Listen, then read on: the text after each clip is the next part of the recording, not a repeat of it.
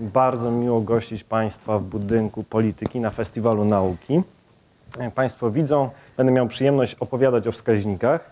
Nazywam się Adam Czerniak i jestem wykładowcą w Szkole Głównej Handlowej, a także głównym ekonomistą w Centrum Analitycznym Polityka Insight, które zajmuje się także analizami bieżącymi gospodarczymi, więc staram się gdzieś łączyć teorię z praktyką i to będę starał się Państwu dzisiaj przekazać.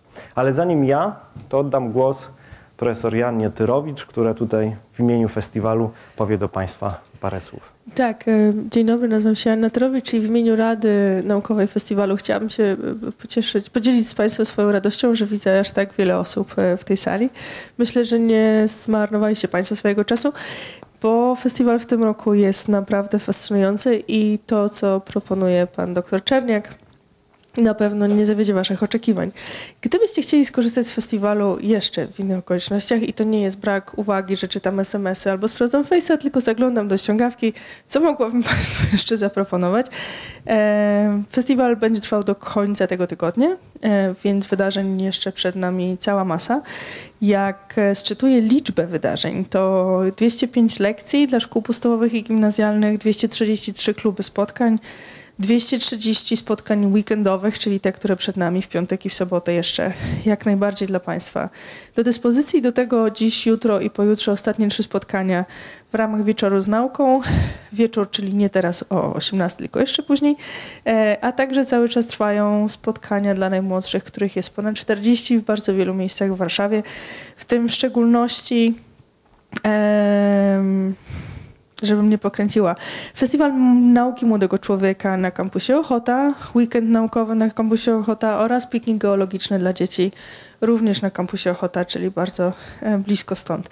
E, wykłady, które zaproponowała Rada Naukowa Festiwalu mają za każdym razem dotyczyć tych kwestii, które są najważniejsze. Jak Państwo pewnie zwróciliście uwagę, e, przedstawiciel suwerena uznał, że rok Korzeniowskiego nie bardzo nam się należy, w związku z tym Rada Naukowa Festiwalu uznała, że należy nam się rok Korzeniowskiego. E, jest także e, wykład poświęcony Tadeuszowi Kościuszce. E, jest ze względu na 500-lecie reformacji duży wykład o reformacji i jest także, nie wiem czy zwróciliście Państwo uwagę, rok z końcówką 17, setna rocznica rewolucji październikowej, temu również potwierdzony, poświęcony jest jeden z istotnych wykładów. Wszystkie informacje o tym, gdzie, o której, w którym miejscu można znaleźć na stronie Festiwal Nauki edu.pl, Festiwal Nauki pisane razem edu.pl i tam wystarczy sobie wybrać temat albo dzielnicę Warszawy, albo godzinę e, i wyświetlają się wszystkie dostępne wydarzenia, łącznie z opisem, czy to jest dla dzieci, czy dla dorosłych, e, otwarte, czy techniczne, praktyczne. No w każdym razie bardzo serdecznie e, zapraszamy. Chciałabym także zwrócić uwagę, że ten festiwal nauki, który odbywa się w tym roku po raz 21, więc mógłby już legalnie w Stanach kupić alkohol, to jest wydarzenie bez, bez porównania z jakimkolwiek innym festiwalem. Nie mam na myśli tylko tych, które powstały także później w Warszawie, ale z innymi poza Polską Polską. Jest to absolutnie największe tego typu wydarzenie, więc e, nazywanie czasami Warszawy przez tydzień stolicą nauki nie jest całkiem oderwane od rzeczywistości, nawet jeśli nasza nauka odstaje od tego, czego byśmy się od niej spodziewali. I bez dalszych e, komentarzy z mojej strony oddaję e, głos doktorowi Czerniakowi, życząc Państwu i sobie miłego wykładu. Bardzo dziękuję. Mam nadzieję, że faktycznie wykład będzie miły. Będę dzisiaj opowiadał Państwu o wskaźnikach gospodarczych, o tym, jak na świat patrzą ekonomiści. I celem moim dzisiaj, z racji, że mam tak zróżnicowane publikum, pewnie część z Państwa już miała styczność z ekonomią, część w ogóle, część w mniejszym stopniu, część w większym, to w związku z tym chciałbym Państwu przybliżyć pewne pojęcia językowe, którymi posługują się ekonomiści, a mianowicie wskaźniki. Ekonomiści posługują się językiem tak samo jak każda nauka, bardzo hermetycznym i bardzo specyficznym. Wręcz można by było powiedzieć, że język ekonomistów można by było antropologicznie analizować i badać jak języki pewnych plemion na Pacyfiku. I tak pozwoliłem sobie przytoczyć teraz Państwu um, pewien cytat z komunikatu, który ekonomiści jednego z banków dosyć regularnie ogłaszają po publikacji danych. W tym wypadku chodzi o dane o PKB. I proszę się skupić, będę starał się uważnie czytać. Jestem ciekawy, ile osób z Państwa zrozumie w większości ten komunikat. Zgodnie z opublikowanym dziś przez GUS wstępnym szacunkiem, w 2016 roku PKB w Polsce wzrósł o 2,8% wobec 3,9% w 2015 roku, co było nieznacznie powyżej oczekiwań rynkowych. Do spowolnienia wzrostu gospodarczego w ubiegłym roku przyczynił się przede wszystkim silny spadek inwestycji, spadek nakładów na środki trwałe, był spowodowany głównie znaczącym obniżeniem inwestycji w sektorze przedsiębiorstw oraz inwestycji publicznych, co w dużym stopniu związane ze zmniejszeniem absorpcji środków unijnych po zakończeniu unijnej perspektywy finansowej 2007-2013. Czynnikiem oddziałującym w kierunku spowolnienia wzrostu gospodarczego było również obniżenie wkładu eksportu netto związane ze zwiększeniem dynamiki importu przy stabilizacji dynamiki eksportu. I zdanie, które jest dla mnie creme de la creme tego komunikatu, negatywny wpływ spadku inwestycji i zmniejszenia wkładu eksportu netto nie został skompensowany przez silny wzrost kontrybucji zapasów oraz przyspieszenie wzrostu konsumpcji prywatnej. Zatem, kto z Państwa w pełni zrozumiał ten komunikat? O, cieszę się. Dobra. Kto tak pół na pół? Dobrze. A kto w ogóle? Cudownie. To właśnie wykład dla Państwa w większości. Bo będę starał się mówić o tym, czym jest, czym jest kontrybucja, jakie mamy elementy wkładu zapasów i tak dalej, i tak dalej, i tak dalej.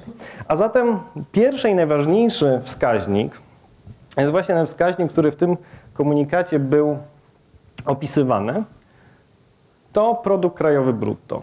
To jest wskaźnik, który powszechnie występuje w mediach, który jest szeroko opisywany w prasie, o którym toczą się dyskusje, także między politykami. Dyskusje, wręcz często można powiedzieć nawet przy piwie o tym, jak szybko rozwija się gospodarka, to prędzej czy później słowo PKB tam wpadnie. Ostatnio jednak PKB, zwłaszcza przez ostatnie kilka lat, zaczynał jako wskaźnik popadać w niełaskę. Sporo osób bowiem mówiło, co nam po wzroście PKB jeżeli człowiek tym PKB się nie naje. No, był taki okres, kiedy Polska przechodziła suchą stopą przez kryzys światowy, jako jedyny kraj odnotowała przez cały czas wzrost PKB. Inne kraje unijne zanotowały spadek PKB w 2009 roku, Polska dalej rosła. No ale ludzie stwierdzili, no dobra, rośniemy, rośniemy, co nam z tego? PKB najeść się nie można. No więc chciałbym Państwu przybliżyć, czym to PKB jest, z czego się składa i dlaczego nawet jeżeli samym wskaźnikiem najeść się nie sposób, to jednak to PKB nam mówi o tym, ile zjeść możemy, bo przecież PKB w 2016 roku wyniosło całkiem sporo, bo wyniosło w Polsce 1,851,170,700 000 zł, czyli 1,8 biliona złotych. Jest naprawdę spora liczba i żeby ją Państwu przybliżyć, chociaż też może być to liczba abstrakcyjna, tym co możemy się najeść, to znaczy, że za polskie PKB można byłoby kupić 758 miliardów bochenków chleba.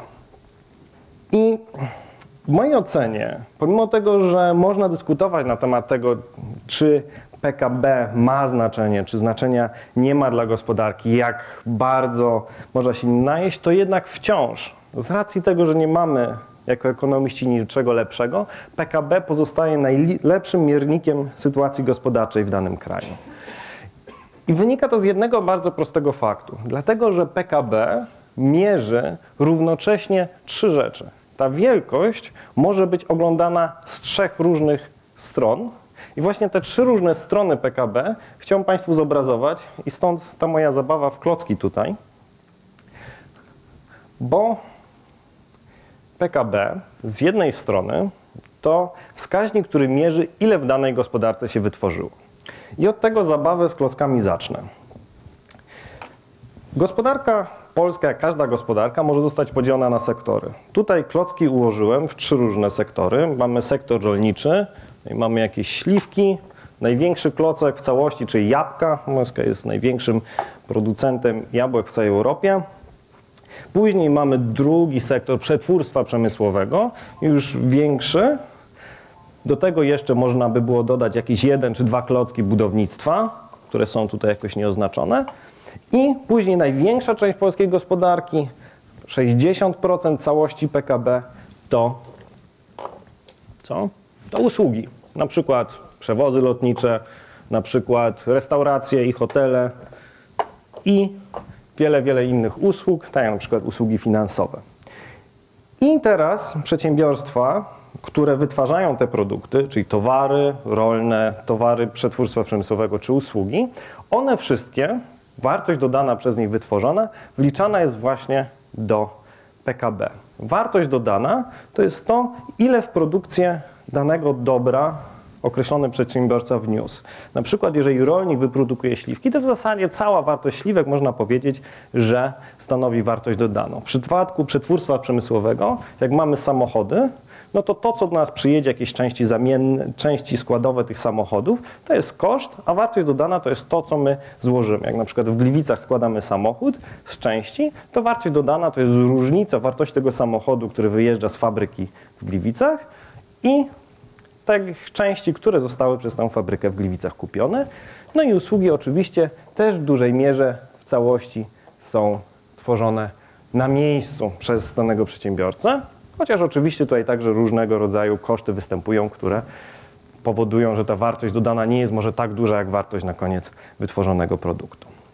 I teraz te wszystkie elementy możemy ze sobą oczywiście poskładać. I składając to, tworzymy właśnie PKB. Każda jedna kostka tego PKB to właśnie jego część składowa i część, którą możemy powiedzieć, i to jest rozszyfrowując ten skrót, o którym mówiłem wcześniej, to jest właśnie kontrybucja do PKB, bo PKB składa się z takich małych kontrybucji. Na przykład mamy kontrybucję sektora usług finansowych, mamy kontrybucję produkcji parasolek, mamy kontrybucję innych działów polskiej gospodarki. Koniec końców, budując to w ten sposób, otrzymujemy cały gmach zwany właśnie PKB. Ciekawe, czy mi się to złoży do końca. Haha. Ha, coś pewnie zostało? Nie, wszystko jest ok. I zatem mamy całe polskie PKB, czyli mamy to nasze 1,8 biliona złotych. I to jest pierwszy sposób mierzenia PKB i pierwszy sposób podziału, że mamy tam nasze produkty, jeden, drugi, trzeci produkt, jakąś usługę i to się składa na PKB. Następnie jednak to samo PKB odzorowuje drugą rzecz. Ile zarobiły te podmioty rynkowe, czyli robotnicy i kapitaliści, mówiąc bardzo kolokwialnie, na tym, że to całe nasze PKB wytworzyli. Bo przecież sprzedaż poszczególnych towarów i usług generuje przychody, a te przychody są właśnie częścią wartości, raczej których częścią jest wartość dodana, trafiają później do firm, które te produkty wytworzyły. A zatem te firmy później rozdystrybuują te przychody na dwie grupy. Mamy jedną grupę, nazwijmy ich pracowników, czyli właśnie tych wszystkich, którzy są zatrudnieni na umowę o pracę, które świadczą pracę, i drugą grupę właścicieli kapitału, czyli te osoby, które na przykład do danej firmy zakupiły maszynę, przedsiębiorca, który wniósł kapitał własny i na tej podstawie zostało na przykład zakupione pole. I te osoby, podobnie jak pracownicy, chcą dostać część tego zysku, czy też jak to ekonomiści mówią, wartości dodanej, która została wygenerowana w ramach PKB. No i możemy to sobie dzielić, mam nadzieję, że dosyć szybko, na jedną i drugą. Część dostają pracownicy, część dostają właściciele kapitału. I tu jest dyskusja, właśnie w momencie tego podziału, jest dyskusja, która w naszym kraju i nie tylko w naszym kraju zresztą toczy się od jakiegoś czasu, a mianowicie, czy ten podział pomiędzy właścicieli kapitału i pomiędzy właścicieli pracy, czyli po prostu robotników, jest podziałem sprawiedliwym, ponieważ w Polsce w tej chwili, jako w kraju, w Polsce mamy w tej chwili stosunkowo niewielki udział właśnie dochodów pracowników, myślę, że to już zaczyna być wszystko, co oni dostają, niż dochodów właścicieli kapitału. W zależności od tego, jak się to mierzy, bo miar może być dużo, w zależności od tego, czy uznaniamy samozatrudnionych jako pracowników, czy uznaniamy ich jako przedsiębiorców, to pomiędzy 35 a 45% PKB trafia właśnie do pracowników. I ta dyskusja, o której przed chwilą wspominałem, która się toczy na arenie międzynarodowej, to jest dyskusja, która mówi, że spada nam udział wynagrodzenia pracy całości PKB, czyli po prostu pracownicy dostają mniej. I tutaj bardzo znana książka, którą Państwu polecam, jeżeli jeszcze Państwo nie mieli okazji jej przeczytać, chociażby po to, żeby mieć jakiś wyrobiony pogląd na to, co piszą ekonomiści, to jest książka Kapitał w XXI wieku Tomasa Piketty'ego, który właśnie pokazywał, jak na przestrzeni czasu zmienia się podział dochodów z pracy i dochodów z kapitału. Jego teza jest taka, że te dochody z kapitału będą rosły coraz szybciej, ponieważ one są agregowane przez mniejszą grupę ludzi, to jest ten tak słynny 1% w porównaniu do tych 99%, mówiąc przysłowiowo, i one są agregowane w, przez ten 1%, a kapitał ma wyższą stopę zwrotu niż praca. Innymi słowy, kapitał może dostawać więcej, dlatego że ma większą na razie produktywność i, te, i to pokazuje. Pytanie, czy ten podział jest sprawiedliwy, czy nie, pozostawiam aksjologom i etykom, bo ekonomiści de facto do końca o sprawiedliwości samego podziału wypowiadać się nie powinni, ale do tego wątku jeszcze za chwilę wrócę. Bo jest jeszcze jeden element, trzeci najważniejszy, czyli to, jak później te dochody właścicieli kapitału i pracowników są z powrotem agregowane do tego naszego PKB. Bo przecież właściciele kapitału, tak samo jak i pracownicy, to nie kto inny, jak osoby, które funkcjonują na terenie danego kraju. I w tej chwili to samo PKB możemy zbudować na nowo, patrząc na to, ile poszczególne osoby wydały na poszczególne typy towarów, a w zasadzie czemu te towary mają służyć. I tak mamy towary konsumpcyjne, określmy je sobie zielonymi kategorią zieloną, czyli te towary, które zostały spożytkowane przez gospodarstwa domowe, czyli przez zwykłych obywateli. To są towary, które nie są w dalszym ciągu wykorzystywane w żaden sposób w procesie produkcji. I one po prostu w tych gospodarstwach domowych, można tak powiedzieć, giną. I to mamy kostki zielone. I tych kostek jest zdecydowanie najwięcej. Konsumpcja stanowi największą część PKB w Polsce. Później mamy wydatki publiczne, czyli to, co wydaje państwo. To określmy sobie żółtymi na przykład kostkami. Tych jest zdecydowanie mniej niż konsumpcja.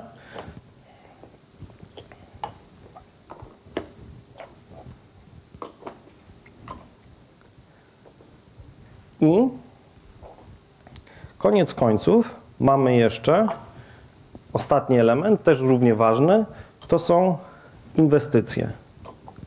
I teoretycznie oczywiście to wszystko nam się powinno poskładać razem w całość, gdyby nie to, że część towarów produkowanych w Polsce jest wysyłana za granicę i kupowana przez zagranicznych inwestorów. Ale z kolei, i to jest niespodzianka, mamy towary, które są sprowadzane za granicę i dochodzi inny element do tego naszego PKB.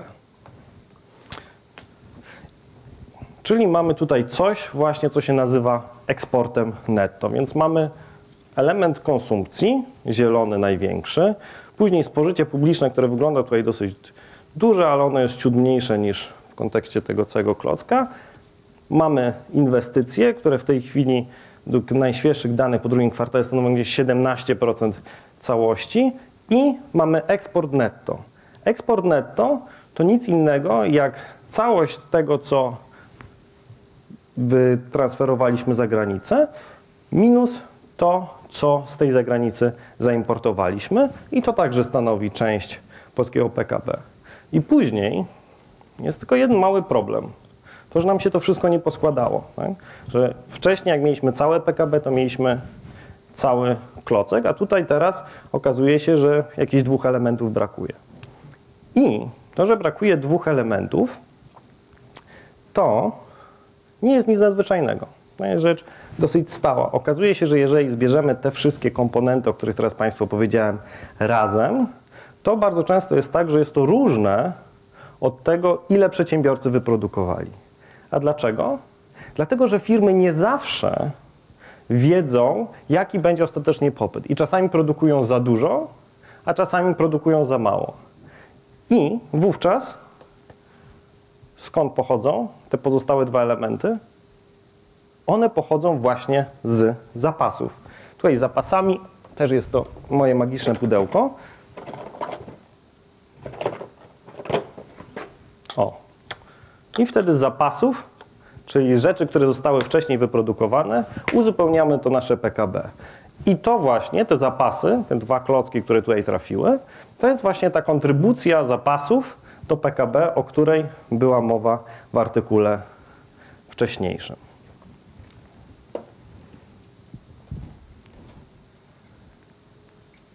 Ale oczywiście PKB, mimo tego, że ma tą swoją dużą zaletę, że pokazuje z trzech stron polską gospodarkę i nie tylko polską gospodarkę, tylko każdą gospodarkę, dla której PKB jest obliczany, czyli pokazuje zarówno kondycję firm, jak i dochody gospodarstw domowych, jak i preferencje dotyczące zakupu zarówno firm, jak i przedsiębiorców, jak i państwa, to nie pokazuje wszystkiego. I pod tym względem jest miarą która mogłaby być lepsza, ale oczywiście bardzo ciężko by taką miarę czy takie uzupełnienie PKB znaleźć. Czego nie pokazuje? Pierwsza i najważniejsza kwestia, i myślę, że ona stanowiła podwaliny pod krytykę PKB, to to, że PKB nie pokazuje tego, czy mieszkańcy są szczęśliwi, czy są szczęśliwsi niż byli, czy może mniej szczęśliwi niż byli. Okazywało się bowiem, że globalny kryzys finansowy, mimo tego, że Polska przeszła przez ten kryzys, jak to się mówi kolokwialnie, suchą stopą, czyli to PKB nam stale przyrastało i ten słupek się powiększał, to mimo tego obywatele nie byli szczęśliwsi. Bardzo zbliżonym problemem do tego, czy obywatele są szczęśliwi, jest to, czy w danym kraju żyje się dostatnio, czy nie. Bo może być kraj, który ma wysokie PKB, jak na przykład Arabia Saudyjska, czy część z pań, czy na przykład Wenezuela, może jest jeszcze lepszym przypadkiem, który ma stosunkowo wysokie PKB, napędzane na przykład dochodami z wydobycia ropy naftowej, a nie żyje się tam dostatnio i wygodnie, bo nie ma na przykład infrastruktury, nie ma odpowiedniej komunikacji publicznej, nie ma zapewnienia podstawowych elementów opieki zdrowotnej. I to też jest bardzo ważne i to oczywiście nie jest ujęte w PKB. Dlatego PKB nie zawsze jest dobrą miarą, zwłaszcza jeżeli porównujemy kraje o bardzo różnej strukturze gospodarki. Kraje, w którym te poszczególne klocki się bardzo między sobą różnią. Na przykład w krajach właśnie, które eksportują ropę naftową i których dochody trafiają do bardzo wąskiego grona, często jest tak, że te dochody później nie przekładają się na faktyczną poprawę sytuacji, czy to psychicznej, czy to właśnie otoczenia ludności w danym kraju mieszkających. No i kolejnym ważnym elementem, tym elementem, który poruszałem wcześniej, to są nierówności dochodowe. PKB mówi nam o tym, jaki jest dochód całkowity i dzieli go właściwie tylko na dwa elementy, na pracę i kapitał. Nie pokazuje natomiast, w jakim stopniu poszczególne osoby w danym kraju czerpią dochody z tego kapitału. Czy może te dochody z pracy trafiają dla, do jednej grupy, a nie trafiają w ogóle do szerokich mas, które także dużo pracują, czy też właśnie do tego, czy trafiają tylko do wąskiego grona kapitalistów, czy może trafiają nam także do osób, które mają na przykład akcje i poprzez dywidendy także korzystają ze wzrostu PKB. Kolejnym elementem, którego nie pokazuje PKB, to oczywiście to, co jest bardzo kluczowe dla wielu społeczeństw, czyli to, czy obywatele są zdrowi i czy są dobrze wykształceni. No i koniec końców, czy dochody firm są sprawiedliwie podzielone? Na te pytania przynajmniej częściową odpowiedź dają inne wskaźniki. I tutaj alternatywnie, jeżeli są Państwo zainteresowani, to publikowane są badania, które pokazują wskaźniki szczęścia. No i Jeżeli Państwo ich szukali, to raczej na stronach anglojęzycznych niż na stronach polskich, dlatego też napisałem anglojęzyczną nazwę Happiness Index. Czy w kraju żyje się dostatnio?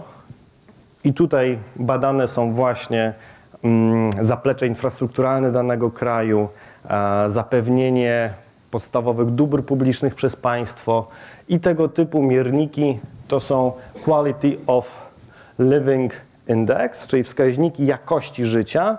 Chyba najbardziej popularnym jest wskaźnik publikowany przez firmę Mercers. Ale Bank Światowy także zajmował się właśnie mierzeniem jakości życia, więc też można tego typu wskaźniki znaleźć. Później, jeżeli są Państwo zainteresowani nierównościami dochodowymi, to tutaj z kolei, czy to różne, różnego rodzaju miary ubóstwa, jak na przykład ile osób w danym kraju ma dochód poniżej dochodu minimalnego wyznaczonego na różnych poziomach. Bank Światowy na przykład dochód taki zupełnie minimalny, dochód ubóstwa wyznacza na poziomie 1 i dwu- dolara i 25 centów dziennie.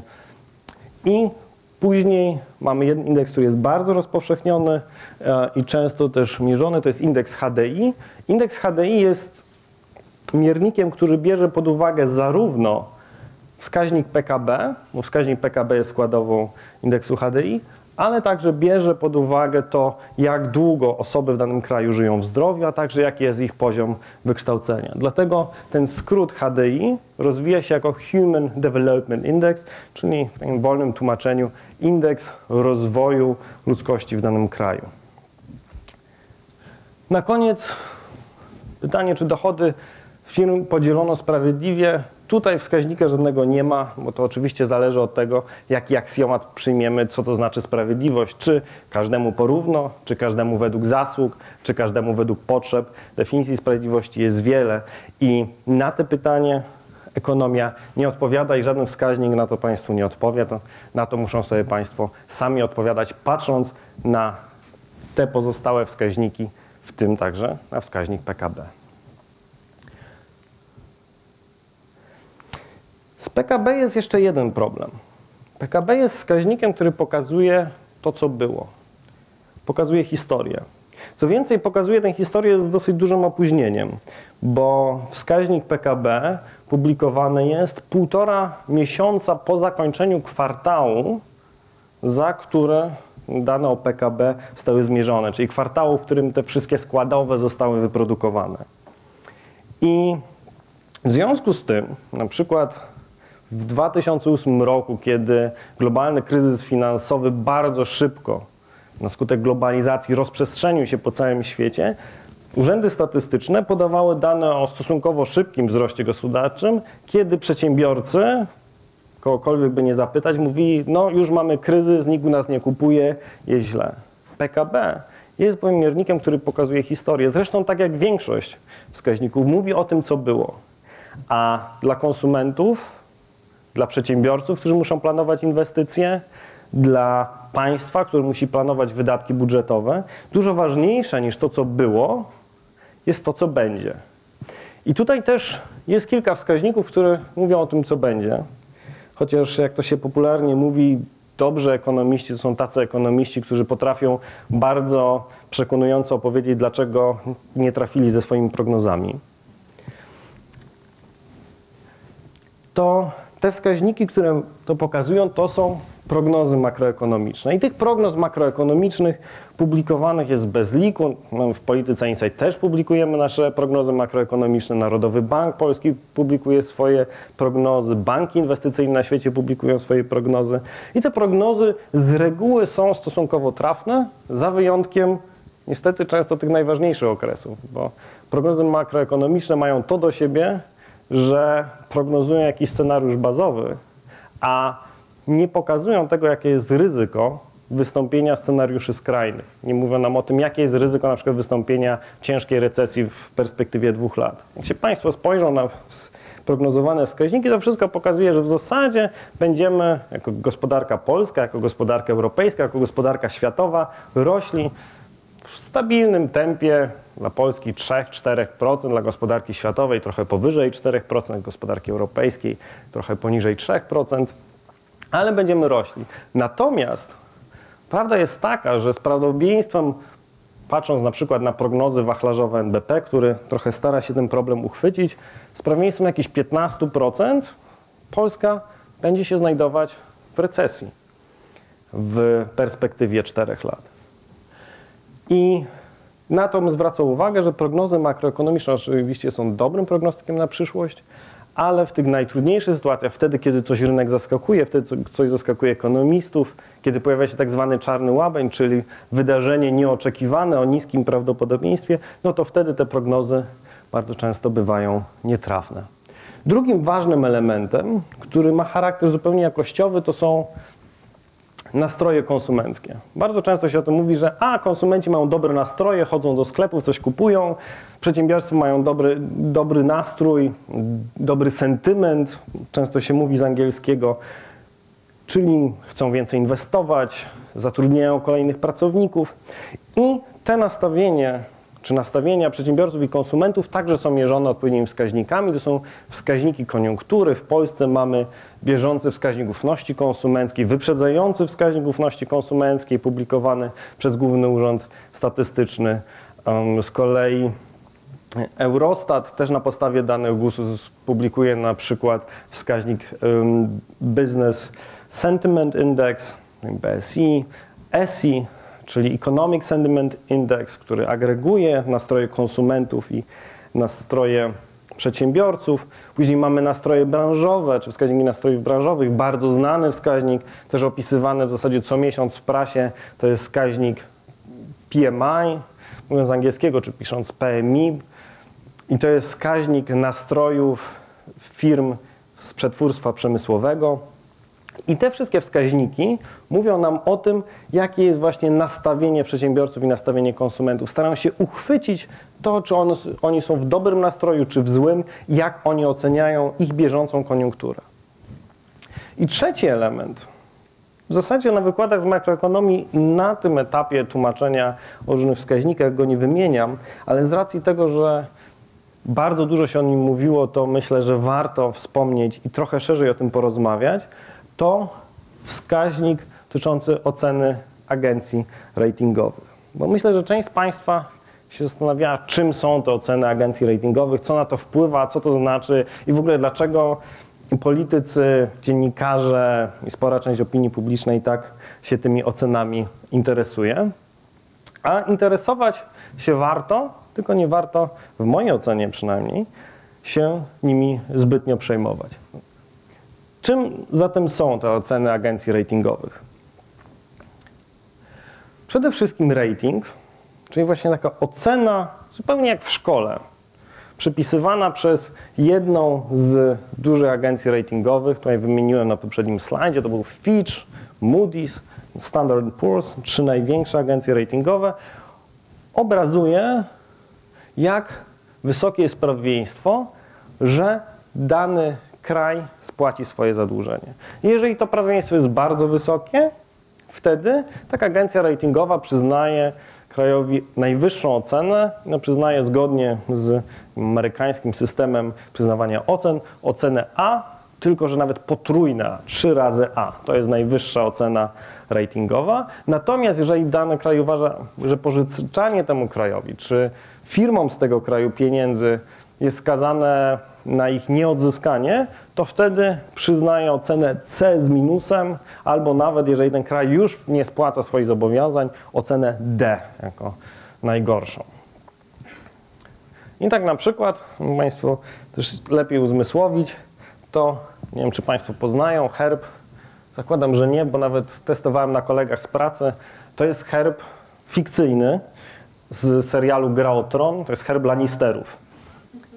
I Lannisterzy, gdyby byli oceniani przez agencję ratingową, ci z Państwa, którzy nie oglądali, to powiem, to jest taki ród w książce e, mm, R.R. Mar- R. Martina, który zawsze spłaca swoje zobowiązania. No to oni dostaliby rating potrójne A z racji tego, że te zobowiązania swoje zawsze płacą. W ostatnim serialu Gry o Tron tak właśnie próbowali spłacać swoje zobowiązania i nawet dzięki temu zostali nagrodzeni. Ale o tym jeszcze za chwilę. I co nam mówi taki rating? To, że dostaliśmy takie potrójne A, jesteśmy takimi lanisterami gospodarki, mówi nam przede wszystkim o tym, czy inwestorzy nam będą chętnie pożyczać pieniądze. I to nie tylko na poziomie kraju, nie tylko rządowym. Bo oczywiście ten rating rządowy to jest rating, o którym wszyscy słyszymy, bo o nim mówi Ministerstwo Finansów, a za Ministerstwem Finansów mówi także prasa. Ratingi są przyznawane nie tylko na poziomie centralnym, one są przyznawane także poszczególnym firmom. Swoje ratingi uzyskują duże banki w Polsce, e, spółki naftowe, spółki chemiczne. Także ratingi można uzyskać na wielu szczeblach. Także na przykład samorządy uzyskują swoje ratingi. I teraz od tego, jaki jest rating krajowy, zależy to, jakie są te ratingi dla poszczególnych firm działających w danym kraju, czy poszczególnych samorządów, czy też na przykład produktów inwestycyjnych emitowanych przez poszczególne banki. I to, te oceny ratingowe, oceny wiarygodności kredytowej, mówiąc e, bardziej po polsku, pokazują, na ile chętnie inwestorzy będą chcieli tym podmiotom pieniądze pożyczyć. A to, jak bardzo chętnie inwestorzy pożyczają pieniądze, wpływa na to, ile za taką pożyczkę wezmą prowizji, czyli jakie pobiorą odsetki. No bo przecież, jeżeli inwestujemy w coś bardziej ryzykownego, zupełnie z konsumenckiego punktu widzenia, czyli mamy niższe prawieństwo tego, że uda nam się nasze pieniądze odzyskać, no to za to ryzyko, które ponosimy, za ten stres, który mamy, związany z tym, że tych pieniędzy możemy nie odzyskać, no chcielibyśmy uzyskać chociażby większe odsetki, jeżeli nasza inwestycja okaże się trafna. W związku z tym, za każdym razem, kiedy agencja ratingowa obniża ocenę wiarygodności kredytowej, no to wówczas stopy procentowe idą do góry, a to oznacza właśnie, że inwestorzy będą pożyczać drożej. Jednym ważnym elementem związanym z ratingiem jest jego perspektywa. Agencje ratingowe już przyzwyczaiły się do tego, żeby podawać ocenę wiarygodności kredytowej wraz z perspektywą tej wiarygodności kredytowej. I to jest drugi komponent indeksu. Perspektywa z kolei może być jedną z trzech opcji, czyli może być perspektywa pozytywna, neutralna i perspektywa negatywna. Perspektywa neutralna oczywiście nam mówi, że w zasadzie z dużym prawieństwem w przyszłości z ratingiem nic się nie stanie. Perspektywa pozytywna mówi nam o tym, że w perspektywie dwóch, trzech lat, w zależności od agencji, rating wzrośnie z prawieństwem powyżej 30 czy powyżej 50%, też w zależności od agencji, a ocena neutralna z kolei nam mówi o tym, że istnieje ryzyko, poważne ryzyko tego, że ten rating zostanie nam w przyszłości obniżony. No i od czego zatem taki rating zależy? Bo w zasadzie o tym się prawie w ogóle nie mówi, a jeżeli się mówi, to jedynie w prasie fachowej.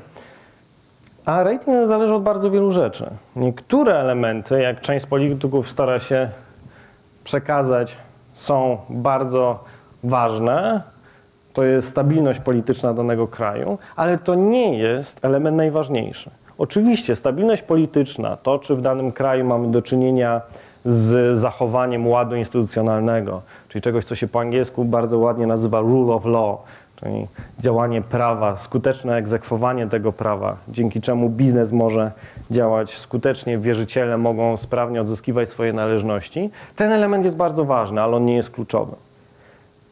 Kluczowe dla oceny ratingowej jest stabilność gospodarcza kraju. I ta stabilność gospodarcza kraju jest oceniana, mówiąc z grubsza, w trzech wymiarach.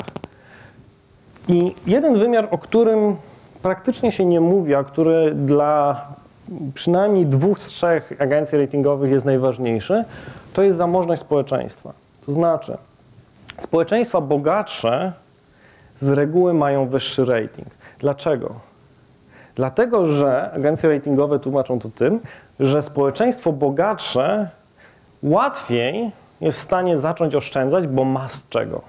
I w momencie, w którym przyjdzie jakiś kryzys, będą jakieś problemy na rynkach finansowych, to społeczeństwa bogatsze mogą zacisnąć pasa łatwiej niż społeczeństwa biedne powiedzieć: OK, dobra, my spłacamy swoje wierzytelności, bo mają z czego zaoszczędzić, mają często też wyższy kapitał, mają wyższe oszczędności i przede wszystkim mają wyższe dochody, w związku z czym więcej pieniędzy są w stanie przeznaczyć na spłatę zobowiązania. I dlatego na przykład część agencji, czy analityków, z którymi rozmawiałem z agencji ratingowych, mówi, że Polska nie dostanie specjalnie wyższego ratingu, niezależnie od tego, jaka dobra byłaby polityka rządu odnośnie sektora finansów publicznych, czy też jak bardzo byłoby, jak duża byłaby stabilność polityczna naszego kraju, właśnie dlatego, że Polska jest jeszcze krajem stosunkowo mało zamożnym na tle innych krajów unijnych i my raczej będziemy jeszcze przez kilka, kilkanaście dobrych lat właśnie w tym takim obszarze A, czyli tej pojedynczej literki A, która mówi, że Polska jest stabilna, że inwestować tutaj warto, ale potrójne A to to nie jest jakieś ryzyko związane z niespłaceniem pieniędzy zainwestowanych w Polskę wciąż istnieje. Drugim elementem, ważnym oczywiście z punktu widzenia spłacenia zadłużenia, to są prognozy dla wzrostu PKB, inflacji, zadłużenia i te prognozy są robione wewnątrz tych instytucji, które opracowują oceny wiarygodności kredytowej. No i trzeci element, bardzo ważny, to jest wysokość deficytu i długu publicznego. Deficyt publiczny to jest to, ile państwo, i tutaj to państwo rozumiane w szerokim zakresie, czyli państwo jako budżet centralny, ten o którym w zasadzie mówi się najwięcej, ale także jako samorządy, jako Fundusz Ubezpieczeń Społecznych, jako KRD, czyli instytucja, która buduje nam drogi, państwo jako całość, ile ma wyższe wydatki niż dochody. I drugi element, drugi element dług publiczny, czyli wysokość wszystkich zobowiązań tych właśnie instytucji, czyli zarówno budżetu centralnego, samorządów, FUS-u, KRD i innych instytucji wobec wierzycieli zarówno krajowych, jak i zagranicznych. Te dwa elementy są bardzo ważne z perspektywy tego, czy zadłużenie zostanie spłacone. I teraz, zanim odpowiem, dlaczego one są aż tak ważne, przez chwilę pozastanawiajmy się nad samymi elementami związanymi z deficytem publicznym i nad poszczególnymi wymiarami tego deficytu publicznego. Bo pierwsza kwestia jest taka, po co w ogóle rozmawia się w dyskursie publicznym o tym, że deficyt w Polsce powinien być niski? Dlaczego nas do tego zmusza Komisja Europejska? Dlaczego sporo polityków, zwłaszcza tych bardziej liberalnych, mówi o tym, deficyt publiczny musi być zbijany i musi być niski? Dlaczego? No jakby spojrzeć historycznie, ostatnie 25-27 lat w Polsce, to mamy w zasadzie notoryczny deficyt, jakoś nic nam się nie stało, żyjemy, nawet przechodzimy z suchą stopą przez kryzys, Grecją nie byliśmy, Irlandią nie byliśmy, Portugalią nie byliśmy, Włochami nie jesteśmy. Gdzie jest problem? No problem jest. Ale on nie jest taki ewidentny, nie jest tak od razu widoczny. Zastanówmy się nad całym przebiegiem tego, co oznacza wysoki deficyt i kiedy on może być zagrażający dla kraju, a kiedy nie.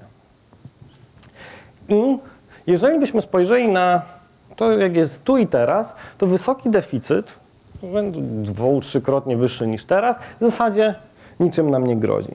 Zresztą wysokie deficyty, czy deficyty w ogóle, są rzeczą dosyć powszechną. W zasadzie z krajów europejskich bardzo niewiele krajów ma nadwyżkę. Niemcy taką nadwyżkę mm, publiczną osiągnęły, ale większość krajów jednak jest krajami, które ma deficyt. No wynika to z bardzo prostego względu, że ludzie jakoś państwo traktują jako wielką skarbonkę i nie mają świadomości tego, że wszystkie wydatki państwa są wydatkami, które powinny być przynajmniej w teorii pokrywane z ich dochodów. A zatem postulują równocześnie niskie podatki i wysokie wydatki. No, a część rządów się do tego przychyla, w rezultacie generując deficyt i pożyczając swoje, swoje pieniądze na na przykład inwestycje, na świadczenia wychowawcze od inwestorów, czyli z sektora prywatnego, zarówno krajowego, jak i zagranicznego. W związku z czym mamy deficyt i de facto taki niewielki deficyt w zasadzie niczym nie grozi. Znaczy on nie grozi niczym, dopóki dany kraj jest wypłacalny. A dany kraj jest wypłacalny, dopóki ma dług pod kontrolą. Co to oznacza? To się bardzo często mówiło w kontekście kryzysu greckiego, że Grecy nie mają swojego zadłużenia pod kontrolą, czyli tych wszystkich swoich wierzytelności, nie są w stanie nad nimi panować. Nie o to chodzi, że Grecy nie wiedzą, komu ile są winni. Nie bynajmniej. Tu chodzi o to, że dług jest pod kontrolą wówczas, kiedy państwo może go zupełnie świadomie rolować i zmniejszać i zwiększać jego wysokość, w zasadzie nie zmieniając bardzo silnie swojej polityki publicznej. Co oznacza rolowanie długu? Bo ten termin jest bardzo powszechny i też bardzo ciekawy, bo jedynie, jedyną instytucją, która, która może rolować swoje zadłużenie jest państwo. Na czym to polega? Z punktu widzenia jednostki polegałoby to na tym, że bierzemy kredyt w jednym banku, na przykład na zakup samochodu i następnie stwierdzamy, nie, my go nie będziemy spłacać. Co robimy? Idziemy do drugiego banku, bierzemy kolejny kredyt na spłatę tego samochodu, a przy okazji jeszcze weźmiemy sobie trochę kredytu na zakup lodówki. Później po pół roku idziemy do kolejnego banku, mówimy, dobra, to weźmy sobie kredyt na spłatę tego kredytu wcześniejszego, innej lodówki jeszcze dodatkowo, a jeszcze mi się przypomniał, jeszcze telewizora nie mam, no to jeszcze trochę większy kredyt.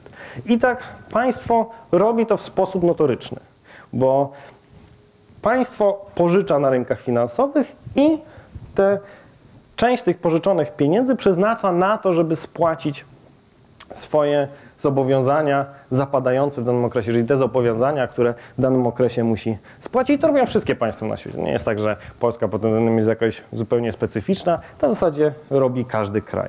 Problem zaczyna pojawiać się wtedy, kiedy inwestorzy mówią, nie, nie, sorry, masz tak słabą wiarygodność kredytową, że już ci nie pożyczę. I wtedy państwo staje przed takim dylematem, o cholera, kolejny bank już mi nie chce udzielić pożyczki na spłatę tego kredytu na samochód, lodówkę i telewizor. I co ja wtedy zrobię? Przecież ja nie mam takiego dochodu, żeby samemu go spłacić. I to jest właśnie moment, w którym państwo traci kontrolę nad długiem publicznym. Ciężko określić, gdzie ten próg przechodzi, w którym miejscu jest ten próg. Na przykład Japończycy mają dług publiczny ponad 200% PKB, co oznacza, że żeby spłacić całe swoje zadłużenie, Japończycy musieliby dzień w dzień pracować tak jak pracują obecnie przez ponad dwa lata i wszystkie te pieniądze, które zarobili w tym czasie nie trafiałyby do osób, które mają pracę, nie trafiałyby do krajów właścicieli kapitału, tylko zostałyby wydawane na spłatę zadłużenia kraju. Czyli one po prostu byłyby wydawane na zewnątrz. Co jest oczywiście totalnym absurdem, tak? że coś takiego nie można by było nałożyć stuprocentowych podatków na 2,5 roku i nikt by nic nie zarabiał, nikt by nic nie jadł w Japonii. Ale u Japończyków ten próg jest bardzo wysoko, u Greków on był dużo niżej. U Włochów, Włosi balansują gdzieś na granicy tego progu, mają dług na poziomie um, gdzieś około 115-120% PKB i oni już w tej chwili, w momencie, w którym dług zacznie im za bardzo rosnąć, mogą wpaść w tarapaty. I teraz jeszcze nawiązując na sekundę do kryzysu fiskalnego, jaki miał miejsce w krajach strefy euro, to to był kryzys, który właśnie bazował na takim braku zaufania inwestorów do poszczególnych krajów. Bo tak naprawdę w kryzys w 2010 roku w pierwszej kolejności wpadła tylko Grecja. I to ona miała największe problemy z tym, żeby spłacać swoje zobowiązania. Tam one faktycznie wynikały z sytuacji gospodarczej, z prowadzeniem polityki fiskalnej. Natomiast w momencie, w którym Grecja wpadła w tarapaty, inwestorzy zobaczyli, że inne kraje też nie są jakieś tak super stabilne, zwłaszcza te małe kraje leżące na peryferiach strefy euro. Zobaczyli, no to może my im nie będziemy pożyczać, a nuż oni podzielą losy, losy Greków. I zaczęli się od tych krajów odwracać. Co spowodowało właśnie dokładnie ten proces, że kraje nie mogły rolować swojego długu, a jeżeli już mogły rolować swój dług, to po bardzo wysokim koszcie, co by spowodowało, że ten dług zacząłby szybko narastać i osiągnąłby prędzej czy później inny poziom, w którym faktycznie te kraje nie mogłyby nad nim panować. USA, USA przekroczyło już w tej chwili, o ile dobrze pamiętam, 100% PKB, jeżeli chodzi o zadłużenie, natomiast wciąż stara się być stabilny i akurat USA jest bardzo specyficznym przypadkiem, bo przez większość inwestorów jest uznawana za tak zwany bezpieczny port, czyli miejsce, w którym lokujemy środki, kiedy coś się dzieje. Polska nie jest takim miejscem, Grecja nie jest takim miejscem, a Stany są. I paradoksalnie w momencie, w którym Stany Zjednoczone ma jakieś problemy, nawet w sektorze finansów publicznych, sporo inwestorów po prostu ucieka w obligacje amerykańskie. W związku z czym przypadek Stanów Zjednoczonych jest przypadkiem bardzo specyficznym, bo tam to powiązanie pomiędzy zaufaniem do kraju, a zaufaniem do bardzo dużego rynku finansowego jest ze sobą nierozerwalnie związane i często jest tak, że właśnie nawet kryzys w Stanach powoduje, że inwestorzy kupują amerykańskie obligacje i dzięki temu oczywiście Amerykanom jest dużo łatwiej utrzymać stabilność finansów publicznych. Zresztą to samo dotyczy Japonii, chociaż na e, trochę mniejszą skalę. I e, konkludując kwestię związaną z kryzysem fiskalnym, to, co udało się osiągnąć w strefie euro, to właśnie zapewnienie wszystkich o tym, że strefa euro, a przede wszystkim Europejski Bank Centralny zrobi wszystko, żeby zapewnić stabilność na rynkach finansowych i żeby utrzymać strefę euro w całości.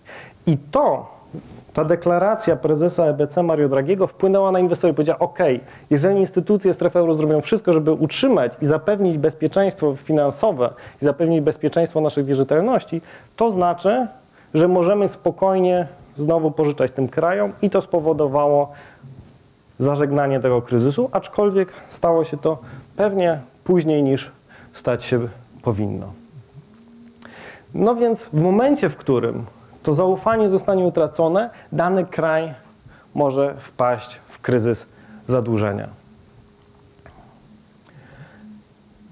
I tutaj chciałbym Państwu pokazać, jak to może być w przypadku Polski i odpowiedzieć na pytanie, dlaczego nawet w momencie, w którym nie musimy utrzymywać niskiego deficytu, jednak ten niski deficyt warto utrzymywać.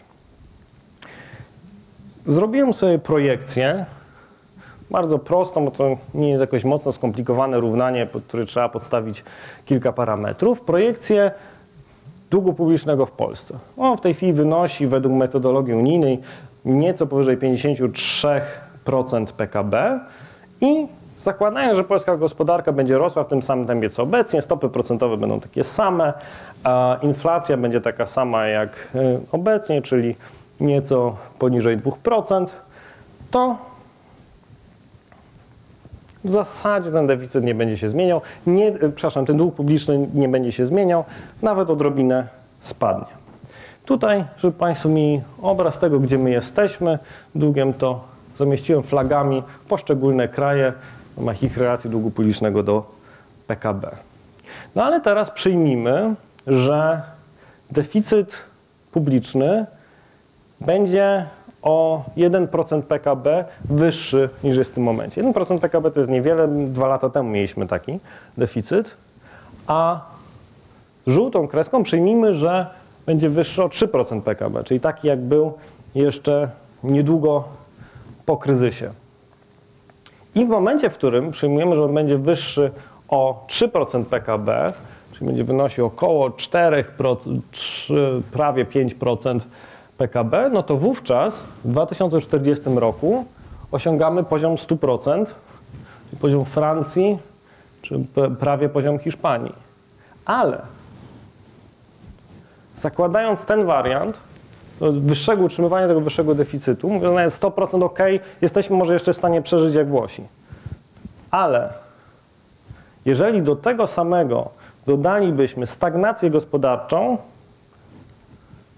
to wyglądałoby to w ten sposób. Taki deficyt jest bezpieczny do utrzymania w momencie, w którym gospodarka się w miarę kręci. I wtedy nie ma dużego zagrożenia.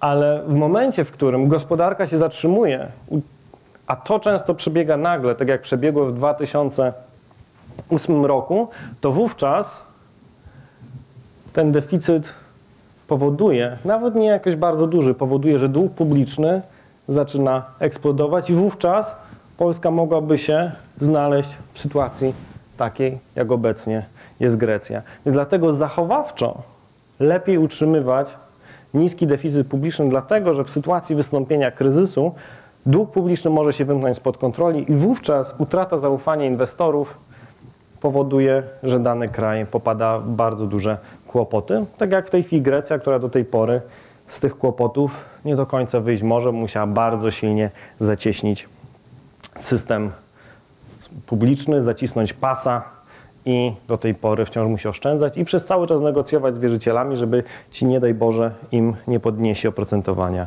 ich zadłużenia. Tyle na ten moment z mojej strony i opowieści o wskaźnikach, opowieści o PKB, deficycie. Zaraz oddam głos Państwu. Jeszcze tylko na sam koniec, jeszcze też na podziękowania.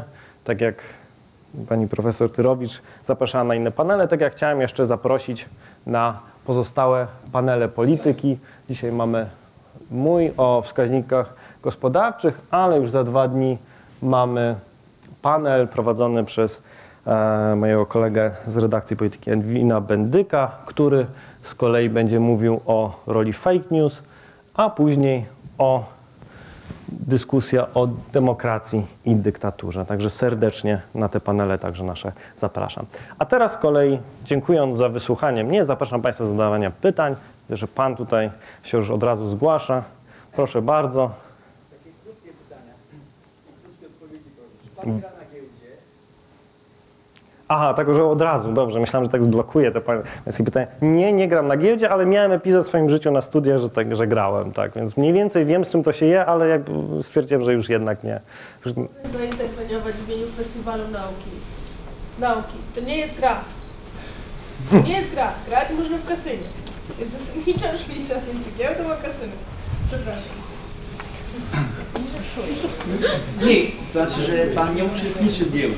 Nie uczestniczę w rynku kapitałowym, ani jako właściciel warszawskiej giełdy, ani tam też nie inwestuję na warszawskiej giełdzie. E, Czy ZUS padnie w czasie? Moich? Czy ZUS, ZUS, ZUS A ZUS padnie. Czy ZUS padnie jako y, instytucja? ZUS jako sam w sobie to raczej nie padnie, to jest instytucja publiczna. Myślę, że panu bardziej chodzi o Fundusz Ubezpieczeń Społecznych, czyli to, czym zarządza ZUS. Czy tam się nie pojawi na tyle duży deficyt, że Fundusz Ubezpieczeń Społecznych będzie niewypłacalny? Bo ZUS to jest tylko miejsce, w którym obsługuje papierologię wypłat emerytur. Natomiast to, co jest kluczowe z punktu widzenia stabilności finansów państwa i także mm, państwa emerytur, to jest Fundusz Ubezpieczeń Społecznych, bo to tam właśnie, ten fundusz, którym zarządza Zakład Ubezpieczeń Społecznych, narasta deficyt. Natomiast y, nie spodziewam się w najbliższej przyszłości, żeby Fundusz Ubezpieczeń Społecznych zaliczył taki deficyt, który był niemożliwy jego dalsze funkcjonowanie, czy też wypłacanie państwa emerytur. Nie zrozumiałem, skąd pan wie, że za 4 lata Polska będzie w recesji? Nie powiedziałem, że będzie, to był jedynie scenariusz, który może zaistnieć. E, Może być takie ryzyko. Nie powiedziałem, że będzie, tylko właśnie wskazywałem na to, że prognozy makroekonomiczne mówią o tym, że powinno być wszystko dobrze, ale biorąc pod uwagę to, jak bardzo nieprzewidywalna jest rzeczywistość gospodarcza, to z prawdopodobieństwem bodaj 10-15% Polska może za kilka lat, wymieniłem właśnie do 4 lat, e, znaleźć się w recesji. Tak. Ostatnie pytanie, bo mnie martwi to 500 plus. Nasi potomkowie będą spłacać te, tak mi się wydaje, ten tort, no, który teraz fundują władze Polakom 500 plus. Ile mamy długu i no właśnie, czy w kryzysie to będzie kula u nogi, to nas będzie ciągnęło w dół, tak? Padniemy, możemy paść jak Grecja.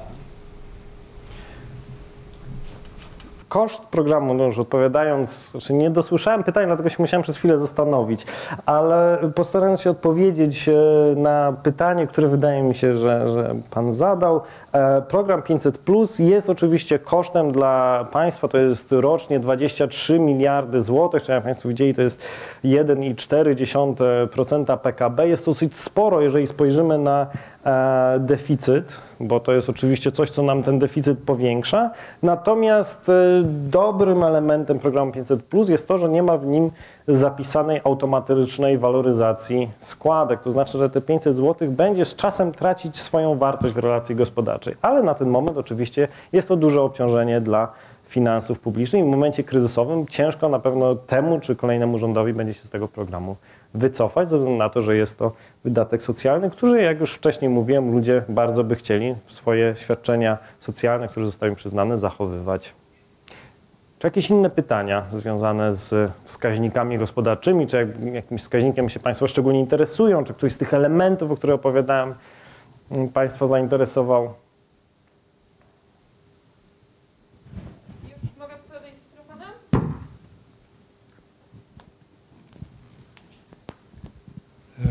W ogóle ani razu nie powiedział Pan o istnieniu wskaźnika inflacji i o tym, e, co on by oznaczał, gdybyśmy sobie pozwolili na coś takiego w najbliższych latach. Czy, czy e, to jest jakieś realne zagrożenie, czy nie?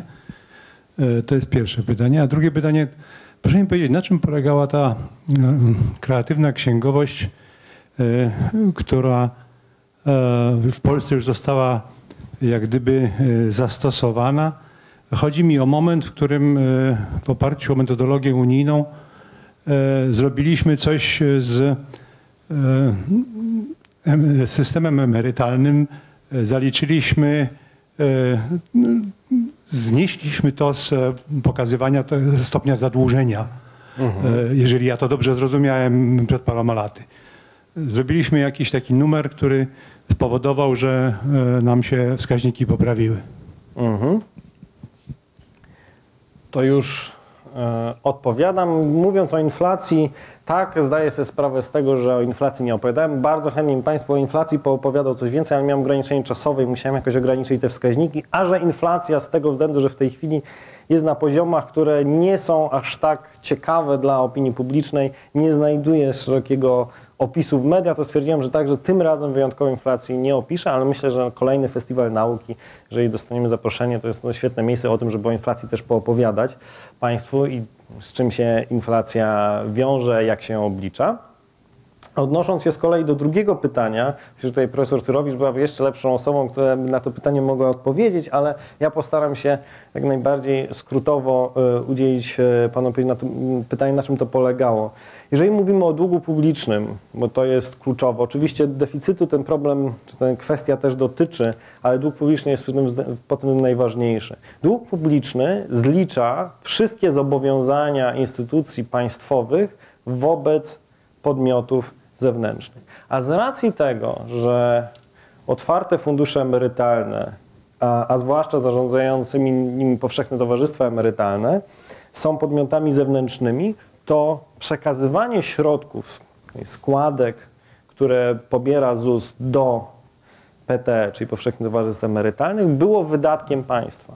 Natomiast w momencie, w którym te wydatki przestały być przenoszone i co więcej, przeniesiono część kapitału z otwartych funduszy emerytalnych do państwa, to raz można było obniżyć zobowiązania państwa wobec wszystkich podmiotów na zewnątrz, dwa można było obniżyć wydatki państwa wobec wszystkich podmiotów na zewnątrz. Ale dług i zobowiązania się nie zmniejszyły. Co zrobiliśmy? Zamieniliśmy zobowiązania wobec instytucji na zewnątrz, czyli według PTE, na zobowiązania wobec przyszłych emerytów. A zobowiązania wobec przyszłości, trochę trywializując, nie są wpisywane w dług publiczny, bo dług publiczny mierzy tylko to, co jesteśmy zadłużeni na zewnątrz poza państwem, a to, jak jesteśmy zadłużeni wobec nas samych, wobec nas przyszłych emerytów, to już w długu publicznym nie jest uwzględnione. Czy jeszcze jakieś pytania? Jaki poziom deficytu budżetowego wskazałby Pan jako optymalny dla polskiej gospodarki? Optymalny, czyli taki, który nie niesie za sobą zbyt dużego e, ryzyka nagłego wzrostu długu publicznego, a jednocześnie pozwala polskiej gospodarce się rozwijać w stabilnym tempie. Dziękuję. Dziękuję za to pytanie. E, jedno, jedno wyjaśnienie. Ja dużo bardziej wolę posługiwać się terminem deficyt publiczny, bo deficyt publiczny dotyczy wszystkich instytucji publicznych. Deficyt budżetowy według nomenklatury w Polsce dotyczy tylko wydatków budżetu centralnego, czyli nie obejmuje na przykład FUS-u, samorządów czy e, KRD, o której wspominałem wcześniej.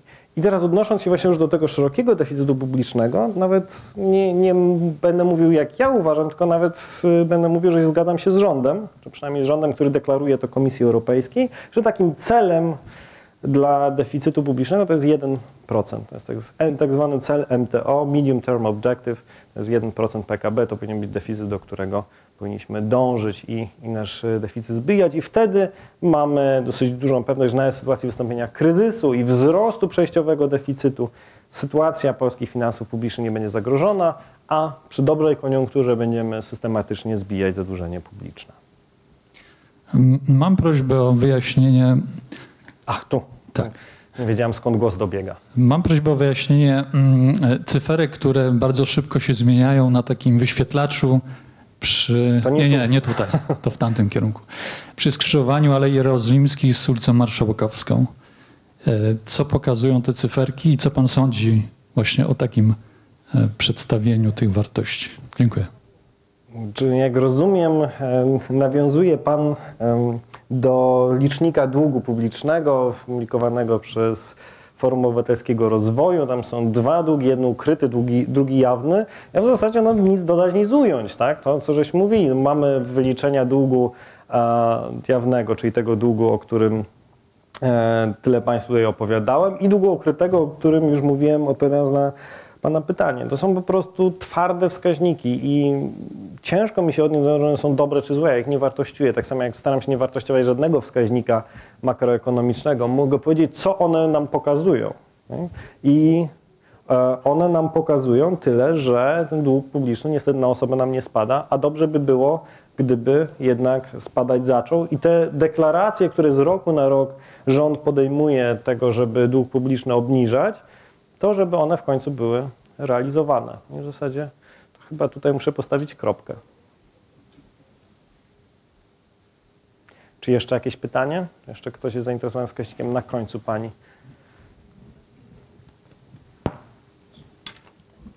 Dzień dobry. E, Ja jestem totalnym laikiem, jeśli chodzi o ekonomię, bo jestem z wykształcenia inżynierem. A to, to przykład z klockami był dobry. Tak, klocki super. E, e, I tak, e, w rzeczywistości chciałam się zapytać o te agencje ratingowe, bo to słyszałam, po prostu się tutaj teraz dowiedziałam, na czym to polega bardziej. I jaki jest poziom zaufania do tych wskaźników? Bo w rzeczywistości z tego, co jakby mm, z mojej wiedzy zdobytej w międzyczasie, to jest tak, że jeśli mamy jakieś dane inputowe i potem je obrabiamy i tak dalej, to wypluwa nam się wynik. No i tym wynikiem tutaj jest ten wskaźnik, tak? I mm, pan mówił, że e, przy tych wskaźnikach e, są e, e, te parametry to są dla mnie takie mało ścisłe. Czy, czy to jest. Nie wiem, z czym to się je, na, na czym oni bazują, bo, bo e, jakby pan mógł to bardziej wyjaśnić. Nie wiem, czy, czy to jest dosyć konkretne pytanie. To- To jest bardzo konkretne pytanie. Moja odpowiedź może być ciut mniej konkretna na to pytanie, bo pytanie jest bardzo trafne i nie wszystkie agencje ratingowe mm, bardzo szczegółowo ujawniają swoją metodykę. Znaczy, metodyka jest opisana i opisana jest dosyć precyzyjnie, tylko część tej metodyki jest, yy, czy w części tej metodyki jest element uznaniowości. E, I te elementy dotyczące sytuacji politycznej, na przykład w niektórych agencjach ratingowych, e, bazują na na przykład e, ocenach praworządności w danym kraju publikowanych, czy to przez Bank Światowy, czy przez instytucje międzynarodowe. W tej chwili dokładnie głowy sobie uciąć nie dam, które. Tak czy inaczej starają się brać jakieś wskaźniki, ale koniec końców decyzja o tym, czy to będzie A z minusem, czy A bez minusa, w- jest obarczona, nazwijmy to sobie tak ładnie, oceną ekspercką zespołu, który przyjeżdża do danego kraju i spotyka się z Ministerstwem Finansów, spotyka się z ekonomistami. Także tutaj nawet do nas przychodzą czasami z agencji ratingowej się pytają, jak my oceniamy e, praworządność kraju, jak my oceniamy sytuację gospodarczą, perspektywy fiskalne i później te wszystkie twarde elementy, ten jak pani nazwała input do tego i to, co im wyjdzie po przemieleniu jest jeszcze korygowane o ocenę ekspercką właśnie tego zespołu, który ten rating ostatecznie przyznaje. A kwestia zaufania jest kwestią bardzo ważną w przypadku agencji ratingowych, bo po globalnym kryzysie finansowym to zaufanie do agencji ratingowych mocno podupadło i dlatego też część osób po prostu ignoruje to, co agencje ratingowe mówią. Dlaczego upadło? Dlatego, że agencje ratingowe miały systemowy problem z oceną amerykańskich papierów wartościowych, y, właśnie zabezpieczonych hipotekami. One przyznawały bardzo długo najwyższą ocenę potrójnego A, przy czym te papiery wartościowe, jak pokazała historia, były obarczone dużo większym ryzykiem, którego te agencje ratingowe nie dostrzegły. Przyczyn było wiele, mm, ale to już temat trochę na osobną osobną dyskusję. Więc ten element takiej uznaniowości też tam jest. To nie jest tak, że to jest tylko po prostu maszynka, która jak się ją nakarmi, to ona coś wypluwa i później nikt już z tym nic nie robi. Nie, element uznaniowości też jest. W Konstytucji jest zapisane, że nie możemy przekroczyć, e, jak dobrze pamiętam, 60% tak, PKB e, długu publicznego, tak. No i za 4 lata przyjdzie kryzys, przekroczymy go i władze będą się tłumaczyć, że to wina kryzysu. Konkretnie, kto będzie za to odpowiadał? Czy, no właśnie, czy to będzie wina kryzysu, czy będzie odpowiadał za, za to, za Morawiecki i Szydło za to będą odpowiadać? Według konstytucji, prawa, czy Minis- Minister finansów wedle prawa odpowiada i może zostać za to postawiony przed Trybunał Stanu za realizację ustawy budżetowej. Póki realizuje ustawę budżetową w takim wariancie, jakim ona jest przyjęta, tak długo do, pociąg- do odpowiedzialności karnej przyjęty być nie może. Tyle ze strony prawnej. Natomiast jeżeli chodzi o kwestię opinii publicznej, kwestię uznaniowości, kto jest za co winien, to jak przekroczymy 60% PKB, no to oczywiście e, konsekwencje tego poniesiemy my wszyscy, bo to nie jest tak, że my nie możemy fizycznie przekroczyć 60% PKB z długiem, tylko po prostu w momencie przekroczenia następuje włączenie szeregu e, mechanizmów zabezpieczających, które wymuszają na Ministerstwie Finansów cięcia wszystkich wydatków jak leci. I to wtedy po prostu poniesiemy odpowiedzialność to wszyscy. Czy zostanie jakaś poniesiona odpowiedzialność karna? Nie przypuszczam, jeżeli, e, jeżeli po prostu będą nowelizowane ustawy budżetowe w momencie kryzysowym, tak jak to było robione w 2013 roku czy w roku 2009, bo nawet w sytuacji wystąpienia poważnego kryzysu i wzrostu deficytu po prostu ustawę budżetową się nowelizuje po to, żeby minister finansów nie mógł zostać postawiony przed Trybunał Stanu, no bo przecież te czynniki jednak, przynajmniej tak parlamentarzyści uważają, ja tutaj się w tę ocenę angażuję, e, są rzeczami obiektywnymi, niezależnymi od e, samych decyzji Ministerstwa Finansów. Ale jak pokazuje doświadczenie, nie wszyscy ekonomiści wszystko przewidują. Pomimo tego, że się bardzo, bardzo, bardzo staramy wszystko przewidzieć, nam się nie zawsze udaje. Czy jeszcze jakieś pytania? Jak nie, to bardzo, bardzo dziękuję wszystkim za przybycie. Mam nadzieję, że trochę więcej wiedzy Państwu przekazałem i do zobaczenia na Festiwalu Nauki jeszcze może w tym roku, a może w przyszłym. Dziękuję bardzo.